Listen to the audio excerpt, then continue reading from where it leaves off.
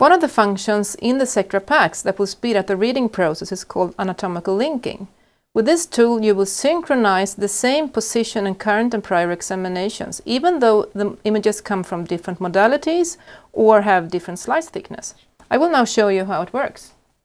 So here we have a thorax case with several lung nodules.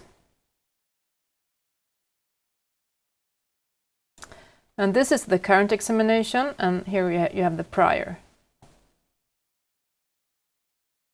If I want to find this lesion, this, this uh, lung nodule in the current examination, I can do that by just press a shortcut key and thanks to the anatomical linking, it will find the same position in the current examination. So if I scroll down, the both current and prior will stay synchronized. For a thorax case like this, you might want to have a, a thick MIP instead of the thin slices. You can do that by with a shortcut key. You can toggle between thin MIP and normal 2D.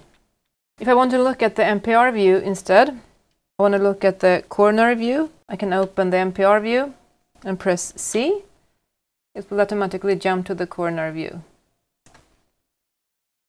The anatomical linking works between the MPR view and the 2D view. I can create an MPR here as well and have the sagittal view. So this is how you can use an anatomical linking. It works with 2D images and works with the MPR and MPR as well. So what about different modalities? Can we do that as well? The answer to that is yes. I need to change patient. So this is an MR neuro case. Above you have the current examination and below you have the prior.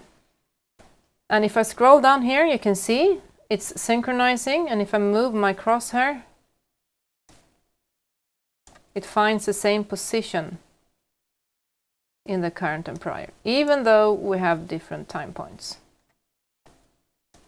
So if I want to look at the CT as well, I can do that. I open my thumbnail view.